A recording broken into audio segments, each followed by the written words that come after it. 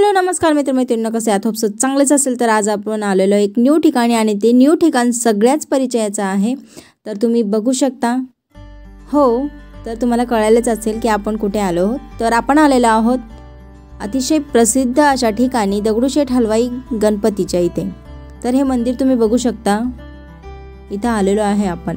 आणि याचा इतिहासही आपण जाणून घेणार आहोत की नेमकं दगडूशेठ हलवाई नेमकं काय आहे आणि कसं तिथे मंदिर उभारण्यात आलं कशा पद्धतीने ते प्रसिद्ध होत गेलं तर ते आपण बघणारच आहोत.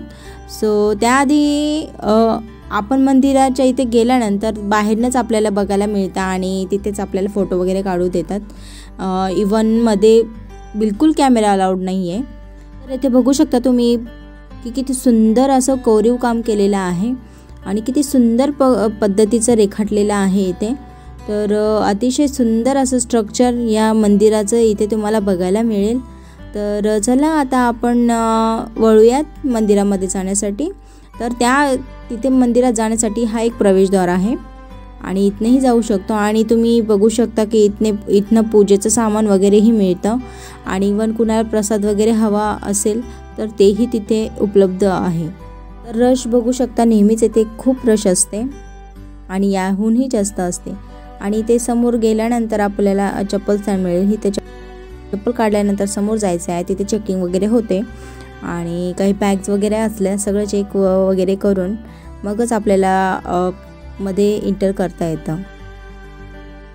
तर हे मंदिराच्या शेजारीच लगटच एक साई मंदिर आहे. तर तुम्ही बघू शकता हे साईचं मंदिर आहे. तर मित्रमैत्रिणींनो तर चला तर आपण जाणून घेऊयात दगडूशेठ हलवाई मागची हिस्ट्री तर दगडूशेठ हलवाई हे एका व्यक्तीचं नाव असून तर त्याच नावानुसार त्याला गणपतीला दगडूशेठ हलवाई असं नाव देण्यात आलेलं आहे. आणि ही जी गोष्ट आहे ती आहे अठराशे त्र्याण्णव सालची.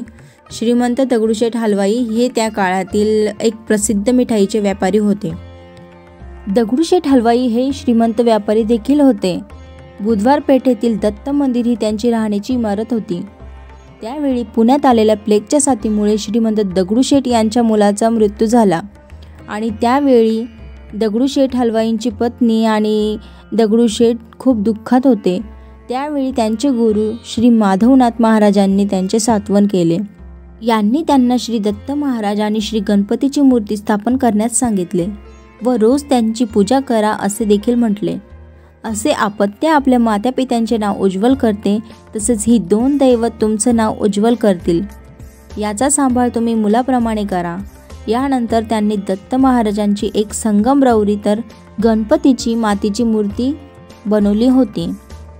मूर्तीची प्राण प्रतिष्ठपणा लोकमान्य टिळकांच्या हस्ते करण्यात आली होती. आज पुण्यातील गणपतीच्या यादीत श्रीमंत दगडूशेठ हलवाई गणपतीचे नाव आघाडीवर आहे.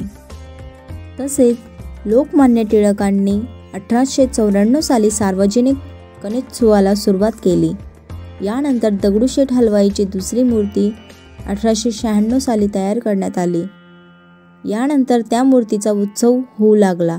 याच काळात श्रीमंत दगडूशेठ हलवाई यांचे निधन झाले. परंतु तेथील परिसरातील नागरिकांनी आणि तात्कालीन कार्यकर्त्यांनी ही गणेशोत्सवाची परंपरा सुरूच ठेवली.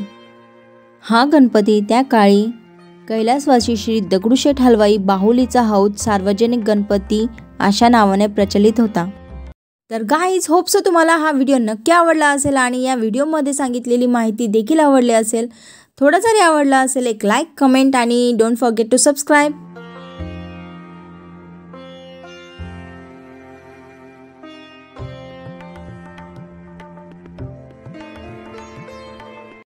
so तर गायज आम्ही आलो आहोत मंदिराच्या बाहेर आणि नक्कीच तुम्हाला हा व्हिडिओ आवडला असेल तर भेटत आपण नेक्स्ट व्हिडिओ